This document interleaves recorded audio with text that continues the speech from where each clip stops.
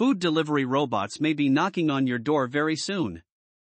Serve Robotics, Serve, stock is gaining some traction on Wednesday. While shares of the food delivery innovator are up by nearly 400% over the past month, its stock price is still down by over 50% from its IPO in April. But, this may all change for the company after announcing a partnership with Shake Shack, SHK, to have meals delivered by its robots via Uber Eats, Uber.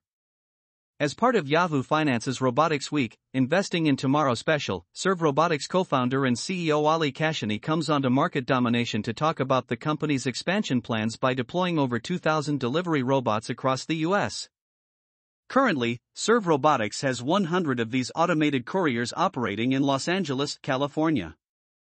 They're going to be in urban environments, New York included. I mean, look at what we are operating right now in in Hollywood area. We are in Hollywood Boulevard.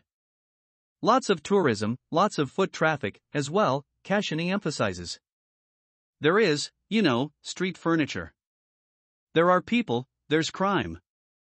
Everything is there. Yet our robots complete deliveries at a higher rate than human couriers by a wide margin we perform up to 99.94% of our deliveries. That's significantly better than human couriers already.